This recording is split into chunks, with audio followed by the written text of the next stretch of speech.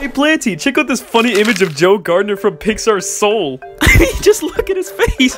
Gee, Adventures, you've truly reached peak comedy. Finally, it's good to know that somebody understands my genius.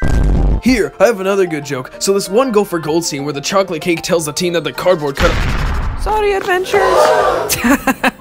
See, now that is hilarious.